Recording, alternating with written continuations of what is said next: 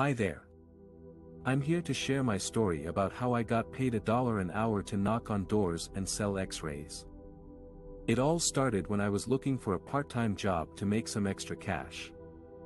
I came across an ad for door-to-door salespeople and decided to give it a shot. On my first day, I was given a stack of x-ray images and a script to follow. My job was to knock on doors and convince people to buy these x-rays. It wasn't easy, but I was determined to make it work. I quickly learned that the key to success was persistence. I had to knock on a lot of doors before I made my first sale. But once I did, it felt amazing. I was finally making money. But then reality hit me. I was only making a dollar an hour. It wasn't much, but it was better than nothing.